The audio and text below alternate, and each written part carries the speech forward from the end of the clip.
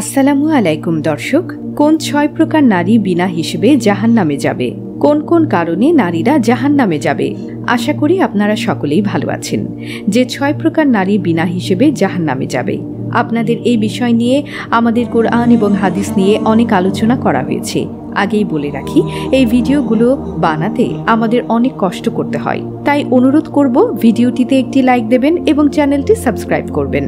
তো চলুন শুরু করি। ছয় প্রকার নারীকে আল্লাহ রাবুল আলমিন আমাদের দিন বিনা হিসেবে জাহান নামে পাঠিয়ে দেবেন। এই ছয় প্রকার নারীদের মধ্যে আমাদের মা, বোন, আত্মীয়, স্বজন আমরা অনেককেই হয়তো দেখতে পাবো। প্রিয় দর্শক, বুখারি শরীফের হাদিসে আল্লাহ রাসুল সাল্লাহ আলী ওয়াসাল্লাম বলেন এমন অবস্থায় হজরত ফাতিমা রাদি আল্লাহ আলা আনহু এবং আলী রাদি আল্লাহ আলা আনহু আসলেন আল্লাহ রাসুল সাল্লাহ আলী ওয়াসাল্লামের সাথে সাক্ষাৎ করতে। তারা দেখেন আল্লাহ রাসুল সাল্লাহ আলী ওয়াসাল্লাম বসে বসে কান্না করছেন। ওনার গাল মোবারক বেয়ে পানি পড়ছে। তখন হজরত আলী রাদি আল্লাহ আলা আনহু ডাক দিয়ে বললেন, ইয়া রাসুলুল্লাহ, আমার মাতা পিতা আপনার উপর কুরবান হোক। আপনি কেন কান্না করছেন? তারপর হজরত ফাতিমা রাদি আল্লাহ আলা আনহু বললেন, আব্বা যান আপনি কেন কান্না করছেন? তারপর আল্লাহ রাসুল সাল্লাহ আলী ওয়াসাল্লাম বললেন, আমি মিরাজে যাওয়ার পর সেখানে অনেক কিছু দেখেছি। হজরত জিব্রাইল আমাকে অনেক কিছু দেখিয়েছেন।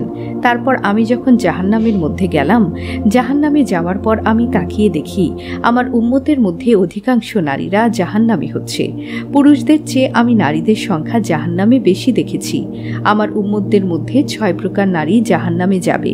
এদেরকে আল্লাহ রাবুল আলমিন কালকে আমাদের ময়দানে বিনা হিসেবে জাহান্নামে পাঠিয়ে দেবেন। তারপর মা ফাতিমা রাদিয়াল্লাহ আলা আনহু বললেন, তাহলে আমাদেরকে একটু বলে দিন যে ছয় প্রকার নারী যারা কিয়ামতের ময়দানে সরাসরি জাহান নামে যাবে।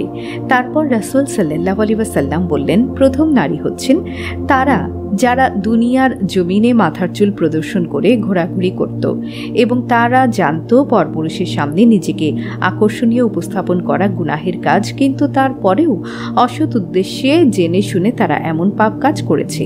আল্লাহ রাবুল আলমিন শাস্তি স্বরূপ তাদেরকে চুল দ্বারা আগুনের শিখার উপর ঝুলিয়ে রাখবেন এবং নিচ থেকে যখন আগুন দিয়ে তাপ দেওয়া হবে, তখন তাদের মাথার মগজ টকবক করে ফুটে উঠবে। কিন্তু মোহাম্মদে সিকরামগণ বলেন যে সকল নারীরা না জেনে পাপ এতদিন করেছে, তারা যদি জানার পর ইস্তেকফার পরে সঠিক পথে ফিরে আসে, তাদের জন্য অবশ্যই আল্লাহ তালা সকল গুণা ক্ষমা করে দেবেন। তাই স্বামী ব্যতীত অন্য কোনো পরপুরুষকে নিজের সৌন্দর্যকে প্রদর্শন করে বেড়ানো কোনোভাবেই আমাদের উচিত হবে না।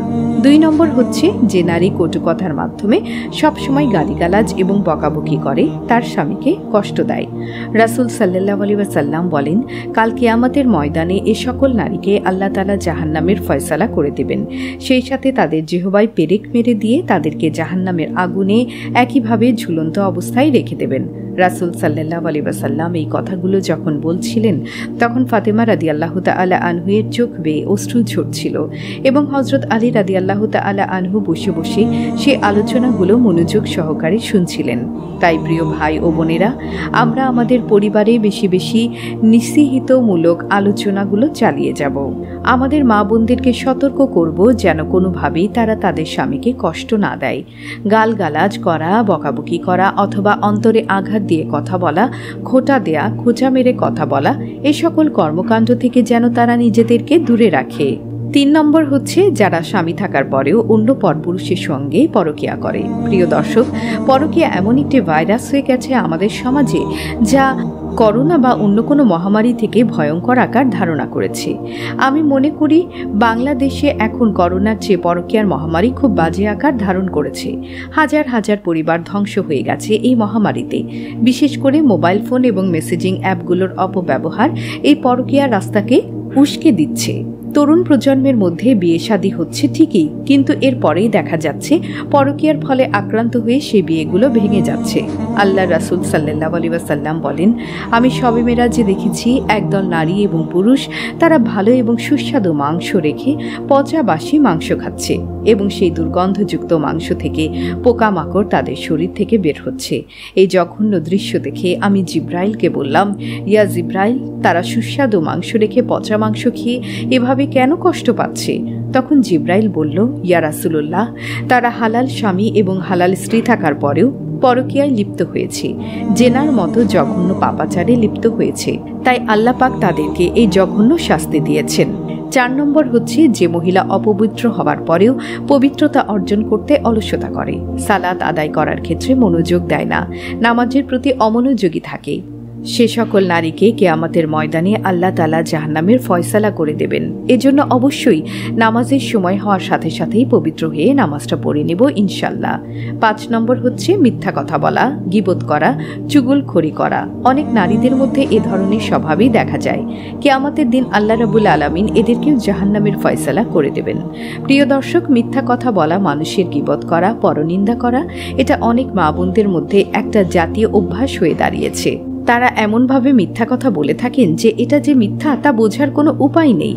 এছাড়াও তৃতীয় ব্যক্তির অনুপস্থিতিতে দুইজন মিলে তার গিবোধ করা যেন আমাদের সমাজে এক রীতি হয়ে গেছে। এটাও একটা মহামারী এবং ভাইরাসের মতো আকার ধারণ করেছে। অনেক মা বোনদের মধ্যে এই স্বভাবটা সরানো যাচ্ছে না। তারা অনেকেই বলে থাকেন অবসর সময় কাটানোর জন্য একটু একটু গাল গল্প না করলে হয় না। কিন্তু অনেক ভালো এবং সুন্দর বিষয় নিয়েও কথা বলা যায়। কিন্তু তাদের আলোচনার মুখ্য বিষয় থাকে পরনিন্দা। আল্লাহ রাসুল সাল্লাহ আলী সাল্লাম বলেছেন, এই অভ্যাস যাদের মধ্যে থাকবে সেই সকল মহিলারা জাহান নামে যাবে। সর্বশেষ সেই মহিলাকে আল্লাহ রাবুল আলমিন জাহান নামে নিক্ষেপ করবেন, যারা সদা সর্বদা অন্যের সুখ শান্তি দেখে হিংসে করে এবং অন্যের ভালো সহ্য করতে পারে না। এমনকি সমাজে কোনো নারী বা তার সহকর্মী ভালো কোনো কিছু করে ভালো অবস্থানে যায় সেই হিংসুটে নারী তাকে সহ্য করতে পারে না। এমনকি তার সাথে কথা বলা বন্ধ করে দেয়। এই জাতীয় মন মানসিকতা থেকে দূরে দূরে সরে আসতে হবে। মানুষের ভালো সহ্য করার ক্ষমতা রাখতে হবে। এমনকি অন্তরে যদি হিংসা এসে যায়, তাহলে ইস্তেকফার এবং লাহাউলা বলা কোয়াতা ইল্লা বিল্লা পরে অন্তরের হিংসাকে ধ্বংস করতে হবে। এবং এই সকল নারীদের মধ্যে আরেকটা স্বভাব হচ্ছে, তারা উপকার করে মানুষকে খোটা দান করে। আল্লাহ রাসুল সাল্লাহ সাল্লাম এদেরকে লানত করেছেন। এই বদ অভ্যাস যদি আমাদের কারও থেকে থাকে এখন ইস্তেকফার করে আমাদের এই পাপাচার থেকে দূরে সরে আসতে হবে। একদা নবী করিম সাল্লাহ আলী ওসাল্লাম মহিলাদেরকে সম্বোধন করে বললেন, হে মহিলা সকল, তোমরা সদ্গা, খয়রাত করতে থাকো ও অধিক মাত্রায় ইস্তেকফার করো, কারণ আমি তোমাদেরকে জাহান্নামের অধিকাংশ অধিবাসী রূপে দেখলাম। একজন মহিলা নিবেদন করল, আমাদের অধিকাংশ জাহান্নামি হবার কারণ কি? হে আল্লাহ রাসুল তিনি বললেন, তোমরা অভিশাপ বেশি করো এবং নিজ স্বামীর অকৃতজ্ঞতা করো। বুদ্ধি ও ধর্মে অপূর্ণ হওয়া সত্ত্বেও বিচক্ষণ ব্যক্তির উপর তোমাদের চাইতে আর কাউকে বেশি প্রভাব খাটাতে দেখিনি। মহিলাটি আবার নিবেদন করল, বুদ্ধি ও ধর্মের ক্ষেত্রে অপূর্ণতাটা কি? তিনি বললেন, দুজন নারীর সাক্ষ্য একটি পুরুষের সাক্ষ্য সমতুল্য। প্রসবোত্তর ও মাসিক আসার দিনগুলোতে মহিলা নামাজ পড়া বন্ধ রাখে। মুসলিম। মহানবী সাল্লাহ আলী সাল্লাম বলেন, আমি দেখলাম জাহান্নামের অধিকাংশ অধিবাসিনী হল মহিলা। সাহাবাগন জিজ্ঞাসা করলেন, তা কি জন্য? হে আল্লাহ রাসুল বললেন, তাদের কুফরির জন্য। তারা বললেন, আল্লাহর সাথে কুফরি? তিনি বললেন, না, তারা স্বামীর কুফরি, অকৃতজ্ঞতা ও নিমক হারামি করে। তাদের কারও প্রতি যদি সারা জীবন এহসানি করো, অতপর সে যদি তোমার নিকট সামান্য ত্রুটি লক্ষ্য করে, তাহলে বলে বসে, তোমার নিকট কোনো মঙ্গল দেখলাম না আমি। বুখারি, মুসলিম। হে আল্লাহ, আপনি আমাদের সিরাতুল মুস্তাকিম দান করুন এবং আমাদের মা বোনদেরকে এই ছয়টি পাপাচারের হাত থেকে রক্ষা করুন এবং আমাদের ভাইদেরকেও এই সকল পাপাচারের ব্যাপারে মা বোনদেরকে সতর্ক করার তৌফিক দান করুন। আজ তাহলে এই পর্যন্তই। দেখা হবে পরবর্তী ভিডিওতে। আল্লাহ হাফেজ।